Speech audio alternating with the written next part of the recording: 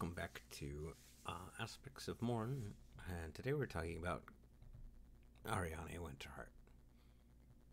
I love Aeriane, uh, or Ari as uh, uh, Kazao calls her. Um, she's part of a duo of sisters that I had trouble coming up with a full concept for them. I kept throwing them on different teams, seeing if they'd fit there. And when I developed Akira Kazao, I was like, what if? And then it, it all hit me. I abandoned part of the concept was they'd switched bodies. That's been completely thrown out. I don't ever want it used. It makes no sense. Ugh, I don't want it there. I don't want it there for drama purposes. No. Um, so let's let's take a look at Aeriane. She's a wood elf samurai. There's one thing here that I'll get to at the end with regard to Kazao that I don't have listed here, but I'll, I'll leave that to the end when I get to Kazao. Um, she's wood elf samurai. Her parents died protecting humans from redcaps. And you're probably going, what? Her parents saved what? her parents saved samurai.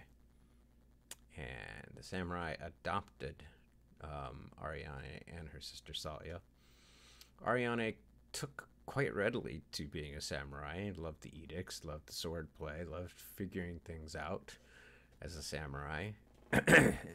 but her sister Salia, she, she got old enough, went elsewhere for training which isn't too bad. Her sister didn't fall off the Enlightenment train. Trust me, when we get to Salia, which isn't far away, you'll see.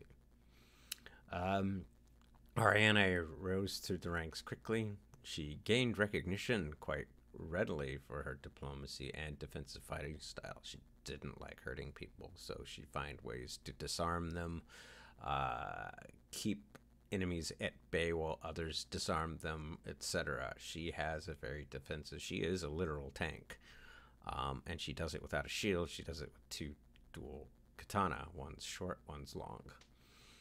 uh, when she met Kazao, Kazao was very hesitant about asking her out, but and stormed into the camp and said, "Hey, and you'll, you'll see this isn't as a spoiler for the book. It's a flashback in the book. Literally, it's mentioned a few times.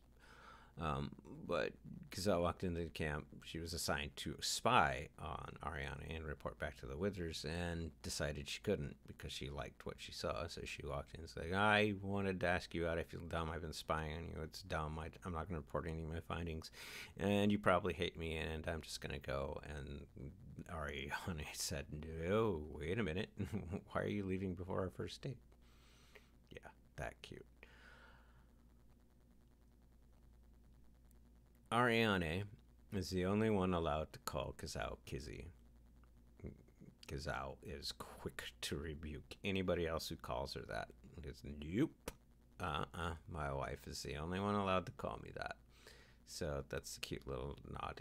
And it took Aeriane a long time to earn uh, Kazao's pet's trust, which is Pratchett.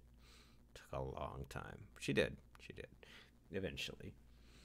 Um, together, the two are, I wouldn't say friends, but acquaintances of one of the mysterious animals that are all over the aspects. Um, I call them totem animals, and we'll get to them in, a, in another video.